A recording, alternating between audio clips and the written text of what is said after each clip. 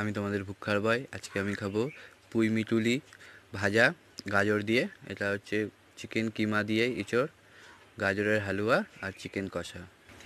আজ তাহলে খাওয়া শুরু করি।